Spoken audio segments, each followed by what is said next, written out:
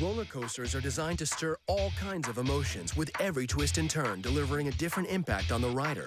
But is it possible to measure physical reactions like fear and pleasure? Welcome to the world of Brendan Walker, one of the world's leading thrill ride experts. Brendan has come to Fahrenheit to show designers if the thrills they've promised really deliver. He's joined by thrill technician Stefan, who helped gather and decipher the data. To be able to actually put a human guinea pig on, like me, and actually monitor the effect it's really having on a rider, it's going to give them a real insight into the, into the effectiveness of what they've designed. What happens to our body on a high-octane coaster? Brendan's about to find out. So we're leaving the station now, looking around. I've got my first sight of the rise coming up against me. A sheer vertical climb. So we're trundling towards it now. It's a beautiful sunny day. So we're going up now. He's wired up to record his heartbeat, face muscle expressions, and sweat gland response. Going up into a vertical position, pointing directly up at the sun. Absolutely beautiful, clear day. I'm trying to look left and right. I can just about see the Hershey sign on the hill. He's about to experience 85 seconds of extreme fear and pleasure. Ah, we're topping out, we're topping out. God, the view's amazing. We're looking down. Oh, God. Ah, a little shimmy and uh, a barrel roll around. Straight down, right around, and a twist as well. And straight down towards the ground. This is amazing. Oh, it's way too soon. Around on the ground, zooming up so fast. And around again. Another time.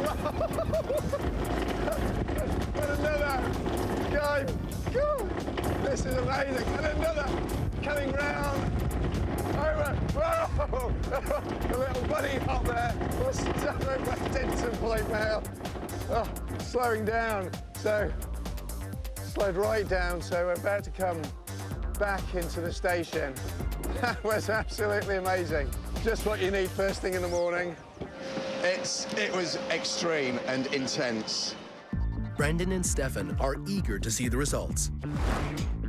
They want to find out if the data validates the experiences designers set out to deliver. Before we got seven data streams coming in. So all of these things have helped us pick out these various ride features.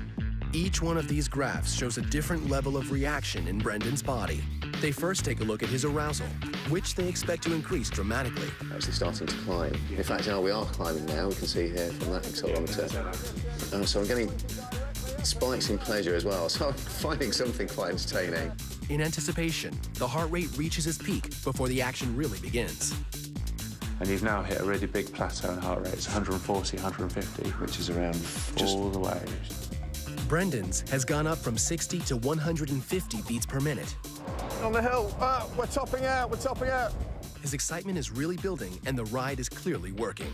God, the view's amazing. We're looking down. Ah! So one expression, which is quite interesting there, is this big kind of open mouth kind of shout, eh, scream. Yeah. So it's almost like a scream, but of pleasure, as opposed to a scream of horror. Yes. Yeah. After the drop, the heart rate levels down to a more manageable 120 for the rest of the twists and turns. So into all these amazing twists and turns and getting little spikes again. Yeah, still getting good spikes and pleasure. And you can see definitely on my face here, I'm really having a good time. Yeah. Next, they take a look at the facial expressions. The frown muscles are indicators of fear, while the smile muscles register pleasure.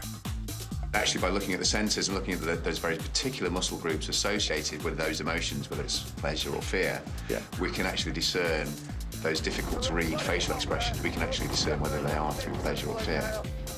The fear now has completely plateaued out to the bottom, almost getting, you know, flatlining. And the heart rate's still very high. Yeah. Brendan starts to really enjoy himself. The heart rate has plateaued, and his sweat glands have opened up, revealing spikes of pleasure as he goes through the rolls. This, this whole section is completely maxing out on both. And now we're coming into a very tight curve, So- a 360 curve. Yeah. Yeah, so more pleasure here than fear. Okay, 360 curve. Yeah, a very lot more, a lot more pleasure here. The ride is over, but Brendan's heart is still racing. That's kind of interesting coming back into the station. So that was- My heart rate's actually gone back up to 100, so there's obviously something uh, quite arousing about seeing spectators, people I know. So there's definitely something about sort of the performance aspect of, of being on a ride. Get me out, please. And now the rider stops, Yeah. um, and your heart rate's dropped back to 90. So And also, you can see as I started talking to people, the levels of pleasure started shooting up as well. So that's kind of nice. A bit of social interaction as well. yeah. It's good. Brendan and Stefan can now attempt to draw some conclusions. Right from the start, the ride is clearly creating a rich mix of emotions.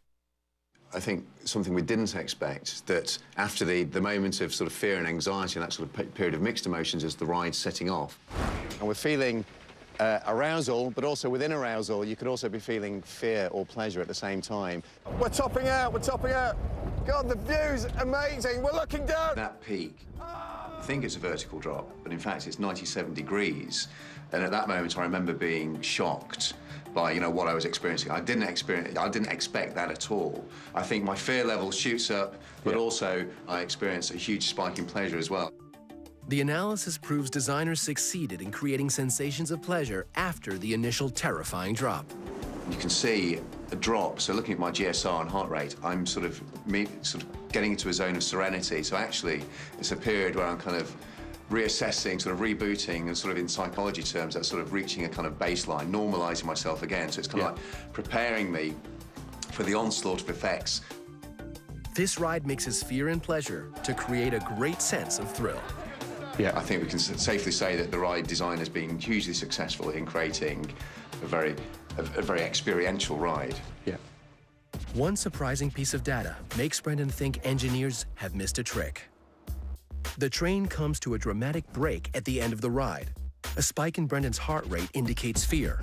Brendan thinks designers can offer riders a quick payoff of pleasure, and a music effect could do the job.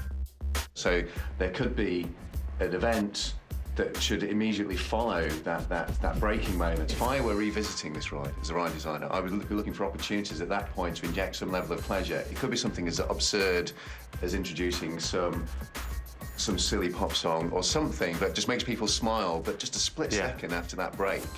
Absolutely awesome. Fantastic.